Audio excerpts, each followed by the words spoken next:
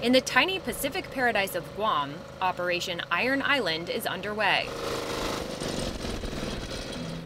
As China ramps up its military capabilities in the region, U.S. forces are testing the Iron Dome, a defense system capable of firing missiles that intercept short range threats like rockets, mortars, drones, and cruise missiles. It's not that big. No, it's not. And then you can tell how big the interceptors would be, right? By right. Little, little pods. Right. Chief Warrant Officer Caroline Soprenant specializes in the Army's missile defense systems. She says the Iron Dome could provide a new layer of defense as threats in the region grow. What are these interceptors capable of doing? While the platform is fixed for the missile firing unit, you'll see that the interceptors are able to maneuver towards the threat. It's the same system Israel uses to shoot down rockets from Gaza, and it has been 90% effective.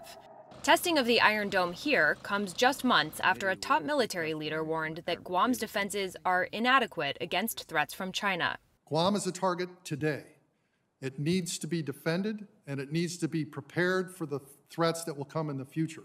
So, what exactly is the Army testing?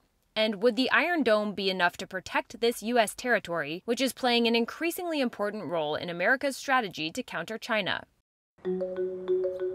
It's often said that America's day begins in Guam, a volcanic island just 36 miles long and blessed with lush mountains, beautiful beaches, and stunning sunsets.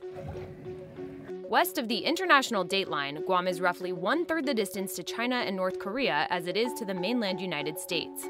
And the military bases on Guam are the closest on American soil to the places where China has been exerting military influence in Taiwan and the South China Sea.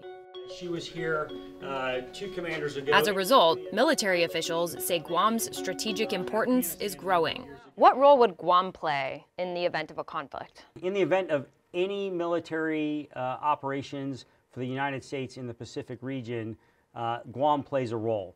Rear Admiral Benjamin Nicholson oversees all U.S. forces in Guam and Joint Region Marianas, part of what the Pentagon says is America's priority theater, and a region in which the military says China is a top concern.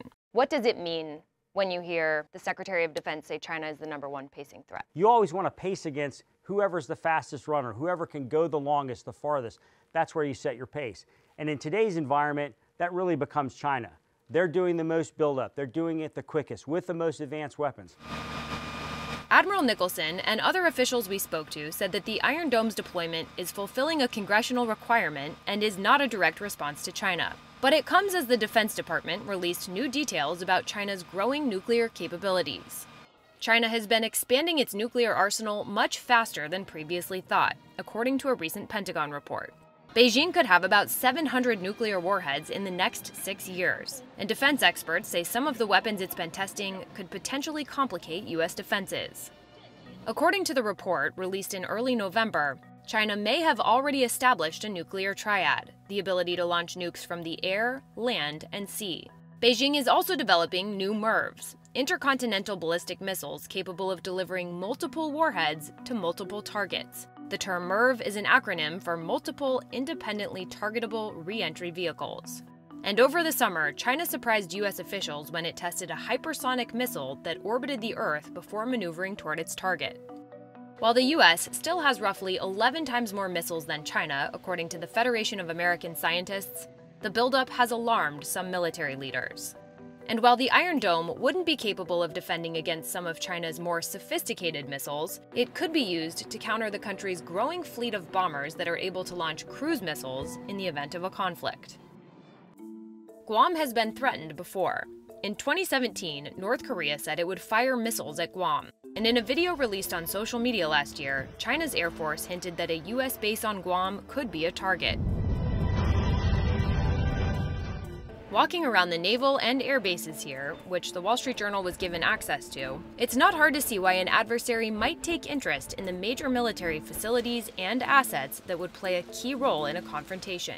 What do you say to locals here who are concerned that the more service members and more assets arrive on Guam, the more Guam becomes a target? We actually had a lot more people here during the height of the Cold War. I wouldn't necessarily would uh, say that it would make us more of a target, but um, certainly uh, we put enough assets here. It also makes it um, uh, easier for us to defend the, the area when we have additional resources here. Guam is already home to a key missile defense system, which we were invited to film along with the Iron Dome. Just a few hundred yards behind Iron Dome is the THAAD launcher, the Terminal High Altitude Area Defense System. And a big reason why Iron Dome is here in Guam in the first place is to see if these two systems can work together.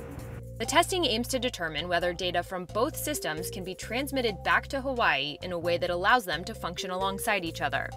THAAD is designed to detect and intercept ballistic missiles, like some of the nukes developed by North Korea and China. But it's not designed to intercept short range threats, like cruise missiles, which fly on flat, direct paths that are more difficult for missile defense radars to pick up. So, systems like the Iron Dome could potentially fill that gap.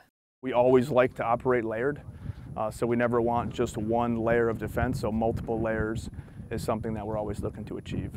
So far, the military says the Iron Dome has shown encouraging results in terms of integrating with THAAD, and it has worked well in Guam's hot and humid environment.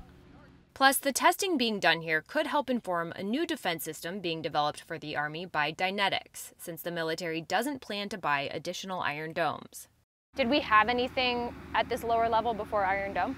We have other air defense systems, um, but we don't have a lot of them in our arsenal. So the more that we're able to use and employ, um, the more flexibility we have with defense and planning.